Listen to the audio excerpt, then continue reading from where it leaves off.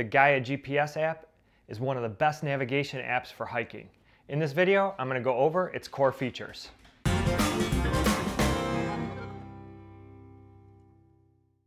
I'm Mike, and this is Outside Chronicles. I love everything outside, and if you do too, you're going to want to click that subscribe button and hit that bell so you don't miss any future videos.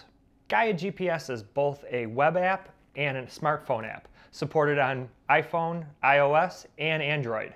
What's cool about that is they're all synced together using your Gaia account.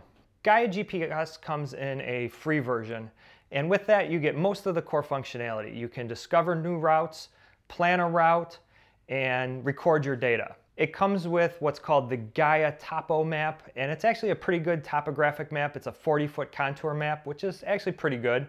One of the big downfalls with that is you can't download it offline with the free version. In order to be able to get offline maps, you have to jump to their membership version.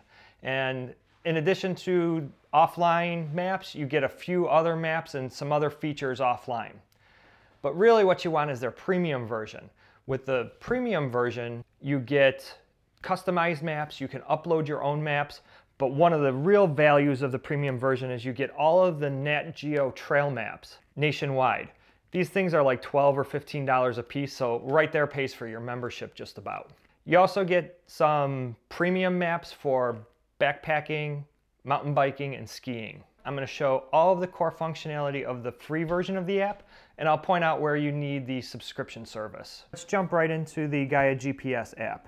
By default, we go into what's called the map view, and it's just a map, and I just wanna point out a couple things here on this screen there's this target right over of elevation and if you click that that's going to center on your current location. And the other thing I want to point out is this icon that kind of looks like a bunch of stacked papers on top of it. That's your different map overlays. And you can see I have a whole bunch of different apps in here. And since this is the free version if I click on one of these it's going to just say I need the subscription. So the only map that we have is that Gaia Topo which is that 40 foot contour also on this screen, you can do your different overlays and you can turn on what you want to see or not see on a particular map. There's waypoints, routes, tracks, areas. You can also put a grid, so if you wanted to put a UTM grid on your map as you're going, you could turn that on. I'm going to leave that off for now.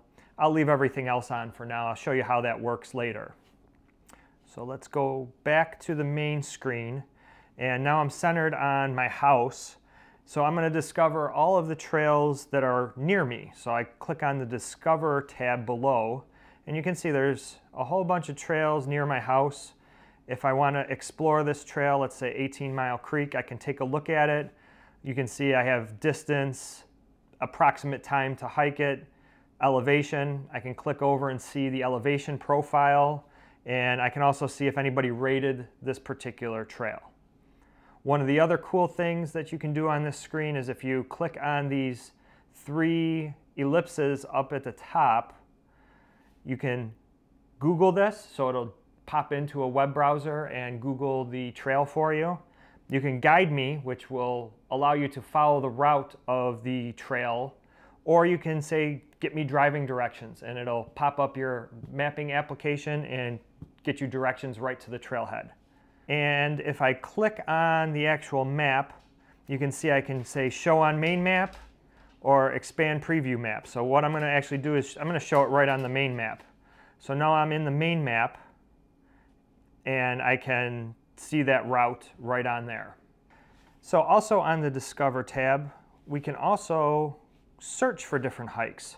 So let's say I want to search for Cascade Mountain, which is one of the easier high peaks that a lot of people begin with. So I searched for it and I want to bring that up. And just like the other trail, it has various pictures. I can take a look at the data of the actual hike, the elevation profile, the mileage. You can see how people rated this particular hike. And you can also see some nearby hikes.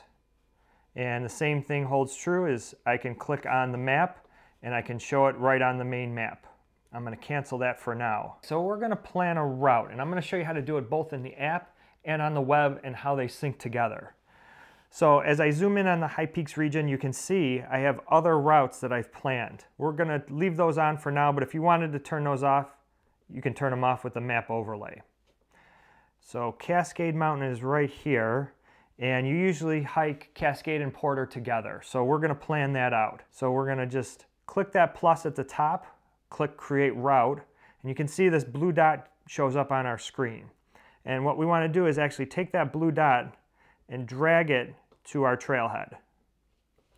And I'll zoom in here to make sure this blue dot is hovering over the top of the trail. Now we're good to go at the trailhead and we're gonna put another blue dot on Cascade Mountain by holding our finger right there. And you can see how it's snapped right to the trail. That's because we're in the mode hiking. If we do straight line, that's gonna give us the distance from the trailhead to the mountain summit line of sight. You can also plan cycling and driving. So I'm gonna keep it on hiking because that makes most sense here. And now I'm gonna plan the route to Porter Mountain by just putting my finger on the mountain summit. So now we can see we have the whole route from Cascade to Porter. We have our elevation planned and we're good to go. So we're just gonna save this and um, I'm just gonna call it Cascade and click Save. So now, if I wanted to bring that up in the future, I would just go over to my Save tab and I would see Cascade. And it works the same way as the Discover. If I click on the map, I can say Show on Main Map, and I can see the elevation profile and distance information.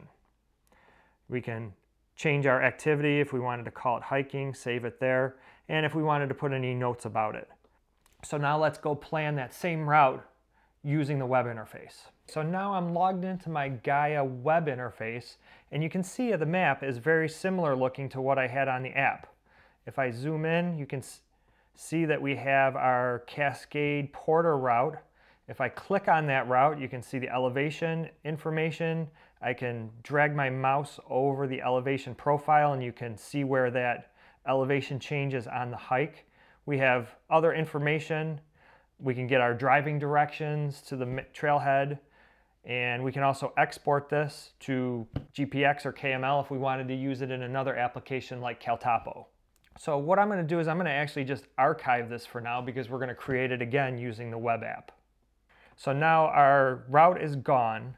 To plan a new route, we're gonna click this button right here, say create route. We're gonna do this the same thing. We don't have the blue dot this time, but we do have this crosshair that comes up.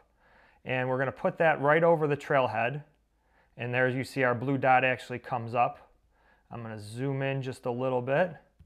And you can, if you mouse, you can drag this back and forth. I'm gonna click to Cascade Mountain and you see it snapped to the hiking trail. We can do the same thing here as we can change that to straight line to get the straight line distance, but hiking makes most sense here. And now if we wanna go to Cascade Mountain, we're just gonna do that same thing and you can see how it snaps and plans our route to Cascade Mountain. So I'm going to just save that route. I can edit the title. We'll call it Cascade. And now it's going to show up in our map. So while we're in the Gaia web app, I'm going to show you some of the functionality I showed you in the app and how to do it on the web app. So we have a similar icon that looks like pieces of paper on top of each other. This is our layers and overlays. And unlike the app, you can actually turn these maps on and you can see we can add other maps. There's a ton of other maps and the ones that you have to pay for have padlocks next to them. So you know that they're not freely available. But you have some of these cool maps available to you through the web app that's not available on the smartphone app. So I'm going to just turn on the Gaia Topo and show you how to do a waypoint and then I'll show you how to do it on the phone. So it's a little bit different on the web interface. It's actually a little bit easier on the phone. So you can actually drag this around and set that as your waypoint. But you can't edit the coordinates of the waypoint. You can save this, waypoint one, and then it'll sync up to the to the app, but you can't edit the coordinates. The best way that I've seen to add a waypoint based on coordinates is you actually search for it. So I have some coordinates in here and we'll let Gaia search for it. And you see it puts the pin with this little plus next to it. So if we click on that plus, now we have a waypoint and we can edit that waypoint based on those coordinates. So now let me show you how to do that in the app. What you do is you just click the plus at the top, you say add waypoint, and you can drag that around like we could on the web app. But unlike the web app, we can actually edit the latitude and longitude of the waypoint. And you can click save and name it and save it to a folder. So we're just gonna put that right there. The final bit of functionality I'd like to go over is how to actually record a track. There's two ways to do it. You could hit the plus and then click record track, or you can just click record right from this screen. And it starts recording, and if I click over to my trip, I get a whole lot of information. So I can get my average speed, my max speed, my pace, sunrise, sunset, my elevation, some good information. And if I see something really cool on the trail, I can click the camera icon, take a picture of it, use that photo, and now that photo is going to be included in my track and in my web application. So we can stop our track by either hitting that green thing, we can pause it or finish it. So I'm going to actually finish the track. As you can see, we can choose a title, choose what activity we had, we'll call that hiking, and we can choose the color of the line that we want it to show up and then we can save it and you can see the image is saved with my track as well as the map. I wasn't moving so we didn't get any any actual recorded track. The free version of the Gaia GPS app is packed with a bunch of great features. If you don't have a handheld GPS device, I suggest bumping into that membership or premium edition where you can get those offline maps. The premium edition and those Nat Geo maps is a really good value.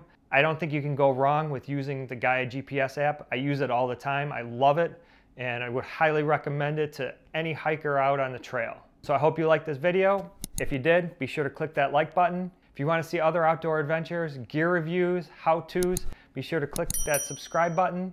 That's it for now. I'll see you guys outside.